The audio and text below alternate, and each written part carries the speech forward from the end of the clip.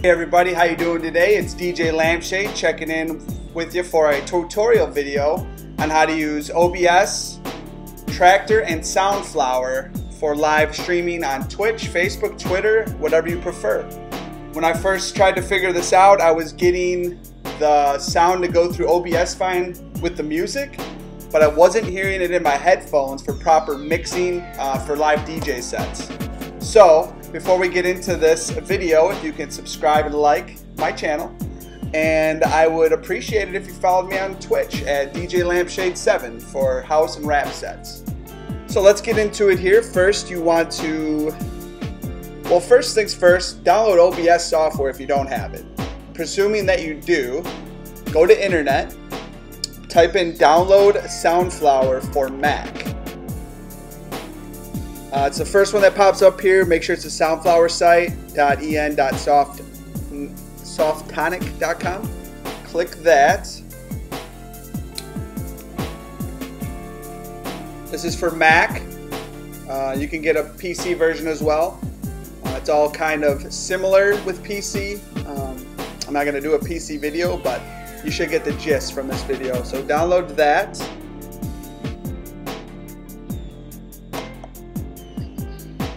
We'll go up here in your downloads, open that up. I already have it downloaded on mine, so I'm not going to go through the complete installation with you, but this will get you on the right track.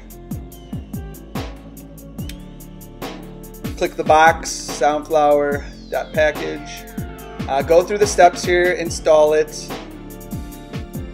Like I said, I'm not going to finish. So you might get a firewall block on your laptop or desktop um, what you want to do if you do get that, go to your settings here, privacy and security, and then general, it will pop up down in here. Um, Soundflower, what you want to do is click open anyway when that comes up. So now that you have it downloaded, Soundflower, you want to go into your launch pad and find your MIDI controller, uh, the MIDI area for your computer. Mine is in this other folder here, Audio MIDI, MIDI Setup it's called. Open that. Now I already have it set up here as well. Um, I named it OBS DJ Streaming. So what you want to do is click this plus sign down here, create aggregate device, and what you want to do is click uh, Traktor control or whatever your mixer is and then Soundflower 2 channel. So now you have that set up. Um, I named mine up here OBS DJ streaming so name it whatever you want. So I'm to just delete this one because I don't need that one. Uh, OBS DJ streaming. Okay now you have uh, OBS. Open OBS up. And here's my setup for my streams what you want to do to get the sound working here, click this plus sign at the bottom, add. Then you want an audio output device. Uh, we'll name it OBS plus Traktor or Traktor plus Soundflower, whatever you want. Okay. And then default, it'll just automatically be default you see it in here. It comes up right down here. So if we go to Traktor, now to set it up in Traktor to get the sound working properly, what you want to do is go to Traktor, Preferences, Audio Setup, OBS DJ Streaming, right here, the one you saved it under, um, whatever you saved it as. Now the real important part, you go to Output Routing, so your output monitor looks like this, your headphones, your master, left and right, if you have an external speaker, if you're at a party or house party, live show, you can have your speakers going as well. And you can have your OBS working uh, with Soundflower to get the audio directly into your computer for the stream. So uh, that's how it should look. Close that.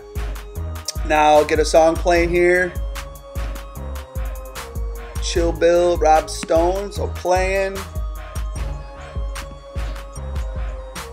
And it is playing down here if you look it's peeking out a little bit so what you want to do maybe turn the volume down a little um, Well, that looks good. And then the headphones are working. Yep. So it's all good. And of course, you know, to stream, you, you click start streaming. Um, you'll have to get your stream key in settings in OBS, copy that, and then that's where you're gonna paste it into your Twitch uh, area in there. So that may be another video, but that's that's it right there. That's how you do it. Um, I know when I first started trying to do this, it was a little bit of a hassle digging around, researching how to route it, set it up. So I wanted to make a short, concise video to help you to get your DJ sets going live so you can um, be in the loop in the pandemic here and you know stay current with what's going on on the tech side. So hope you have a great day. Like I said, subscribe to my channel if you liked it and go follow me on Twitch, social media. Have a great day. Stay creating, stay motivated, and just be a great human being. Peace.